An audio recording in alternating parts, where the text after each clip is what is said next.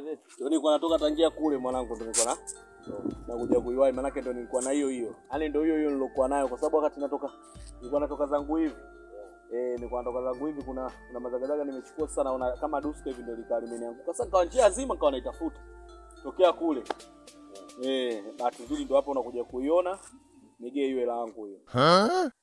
Kweli bla. Sasa nitakuongopea vipi? Mimi nazungumzia hela yangu, nitakuongopea vipi? Mimi ndo nimeangusha hela, wewe umetembea umeangusha hela, wewe umetembea umeangusha hela. Sasa kumbe unataka tupigizane kelele za nini? Acha mambo ya kibwegi bwana, tunazungumza kitu ambacho kweli wewe umeokota hela, mimi nimeangusha hela. Sasa nani mwenye yake?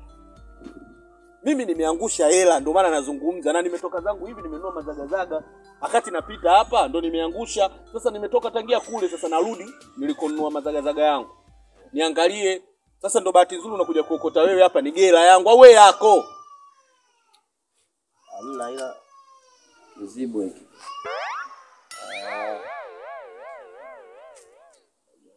Funiko eti hapa mwanangu atahesabia no, no, no, no.